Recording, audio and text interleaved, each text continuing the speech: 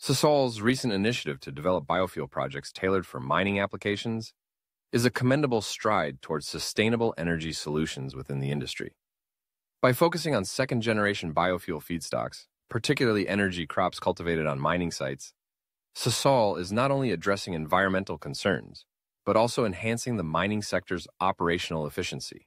Integrating biofuels into mining operations offers a dual advantage. It reduces the carbon footprint associated with traditional fossil fuels and provides a renewable energy source that can be produced in proximity to mining activities. This localized production minimizes transportation costs and dependencies, leading to more streamlined and resilient energy logistics.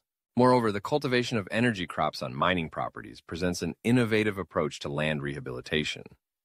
Instead of leaving mined lands barren, repurposing them for biofuel crop production can restore ecological balance, prevent soil erosion, and contribute to biodiversity.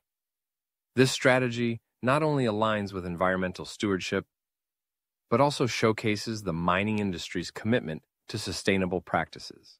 Sasol's proactive engagement in biofuel development underscores the mining industry's potential to lead in adopting green technologies. By investing in renewable energy sources, mining companies can set a precedent for other sectors, demonstrating that economic growth and environmental responsibility are not mutually exclusive, but can coexist through innovation and forward-thinking initiatives. Sasol's biofuel projects represent a significant leap towards a more sustainable and efficient mining industry.